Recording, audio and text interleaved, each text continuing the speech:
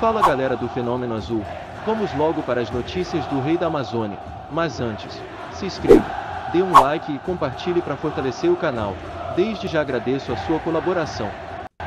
E não se esqueça de se inscrever nas redes sociais do Clube do Remo.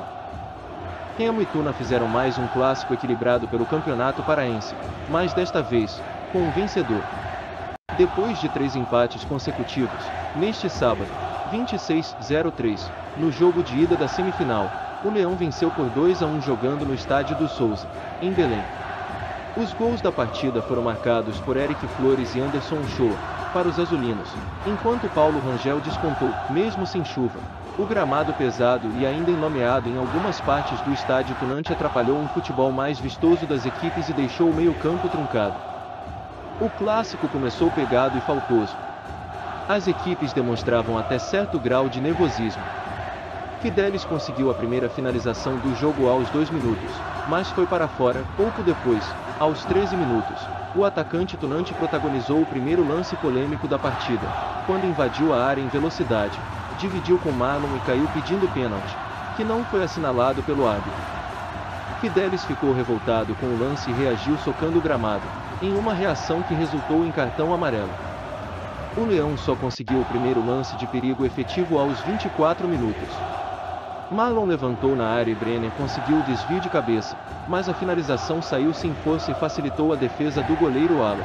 O Remo só foi melhorar no jogo após a parada técnica, aos 30 minutos de jogo. Brenner arriscou da entrada da área, aos 40 minutos, chutando por cima, mas com perigo.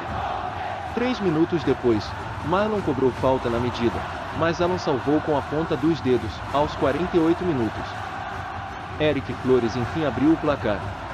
O atacante azulino recebeu de Marco Antônio na área e chutou no canto, tirando do goleiro e deixando o Leão em vantagem no intervalo da partida. No segundo tempo, a vantagem azulina durou pouco.